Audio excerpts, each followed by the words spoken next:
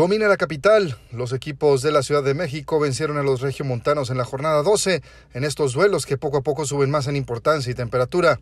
América rompió una racha de 10 partidos sin vencer a Tigres, quienes apenas suman el 50% de los puntos disputados en el presente torneo. El Cruz Azul se mantiene invicto como local y suma 7 partidos ganados en el Azteca luego de la victoria ante los Rayados de Monterrey. Jonathan El Cabecita Rodríguez por primera vez llegó a la cifra de siete goles en la Liga MX, luego de la victoria de Santos sobre Atlas que tiene a los laguneros en el tercer lugar. Morelia regresó a la senda del triunfo luego de la victoria frente a León, tenía seis partidos sin sumar de a tres. Por primera vez en la historia de los torneos cortos, los Pumas le ganaron al Guadalajara en calidad de visitante. Julio Furch y André Pierre Guignac siguen como líderes de goleo en el Apertura 2018. Con un hombre menos por espacio de 45 minutos, el Toluca venció al Pachuca y se mantiene sin hacer ruido en el quinto puesto con 22 unidades. El arbitraje vuelve a ser noticia, ahora en el Cruz Azul Monterrey, en donde se marcó un penal y una expulsión inexistentes.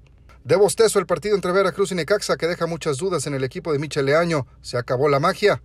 Por primera vez en su historia, Lobo sumó tres partidos sin perder en la Liga MX.